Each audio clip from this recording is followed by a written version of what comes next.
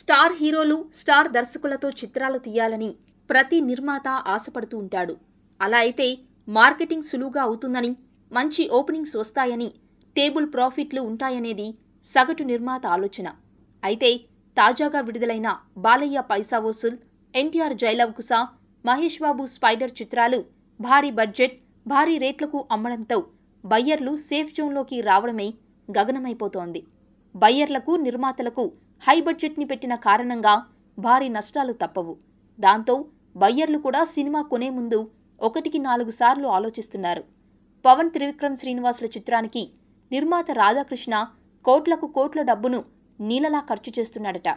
పవన్ త్రివిక్రమ్ల చిత్రం జల్సా అత్తారింటికి దారేది తర్వాత హ్యాట్రిక్ మూవీగా వస్తూ ఉండటం ఈ సినిమా తర్వాత పవన్ రాజకీయాలలోకి వెళ్తానని చెప్పడంతో హిట్ అయితే భారీ లాభాలు వచ్చే అవకాశం ఉన్నా కూడా మరీ బడ్జెట్ ఎక్కువవుతోంది.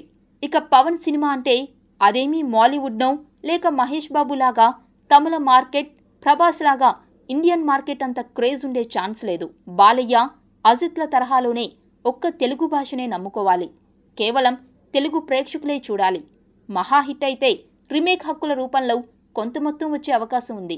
ఇక ఈ చిత్రం షూటింగ్ బాగా లేట్ అవుతోంది. మరోవైపు వడ్డీలు పెరుగుతున్నాయి. పవన్ రాజకీయ బిజీలో విదేశాలకు పాటల కోసం ఇప్పుడే రాలేనని తేల్చేశాడట. దాంతో రామోజీ ఫిలిం సిటీలోనే షూటింగ్ కొనసాగిస్తున్నారు. మొత్తంగా రోజులకు ఒకటి రెండు సీన్స్ తప్ప ఎక్కువ తీయకుండా ప్యాకప్ చెప్తున్నారట. దీంతో నిర్మాత చినబాబు గుండెల్లో రైలు పరిగెడుతున్నాయని తెలుస్తోంది.